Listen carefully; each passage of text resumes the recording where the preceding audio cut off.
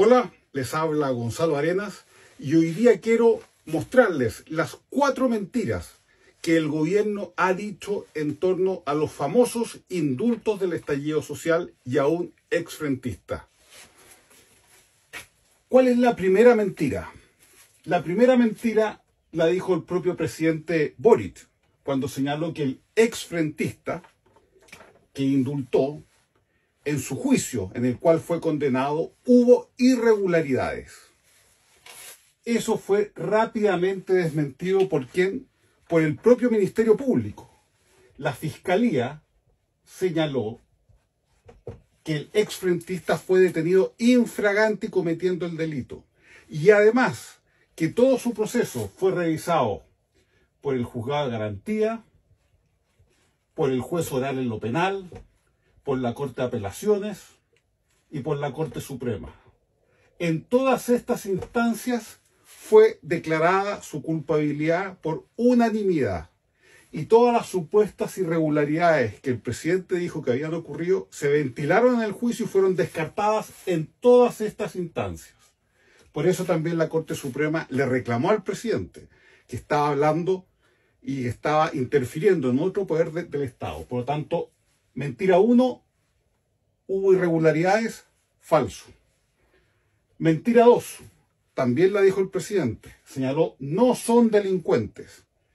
¿Qué conocimos después con más detalle? Que al menos uno de los indultados tenía un gran prontuario criminal anterior. En el año 2005 había sido condenado por hurto, el año 2006 había sido condenado por lesiones. El año 2007 había sido condenado por robos con violencia e intimidación. Y eh, el año 2017 también había sido condenado por hurto. Por lo tanto, era una persona absolutamente reincidente claramente un delincuente y, la propia, y el propio informe de Gendarmería señaló que tenía un alto compromiso delictual.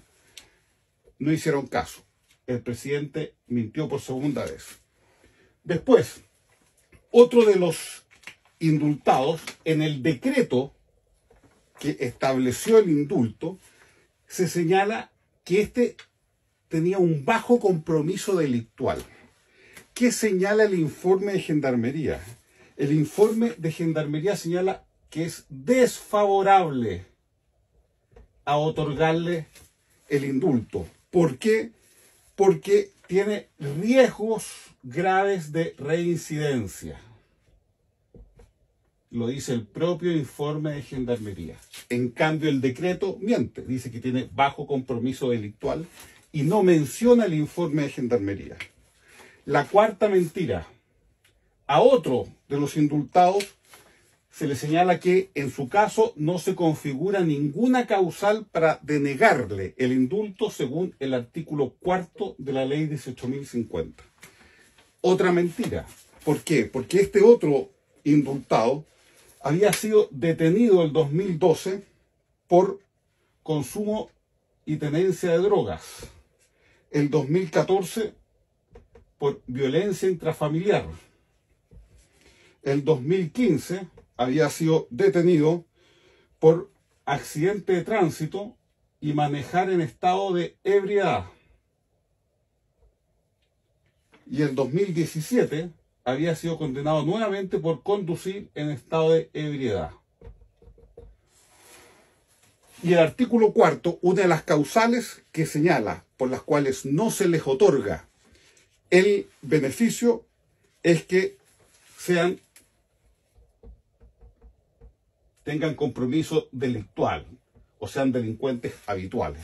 Aquí claramente lo es. Cuatro mentiras sobre cuatro personas distintas. Esto es inaceptable para un gobierno que quiere vivir o predica el Estado de Derecho y combatir la violencia y la delincuencia. Gracias.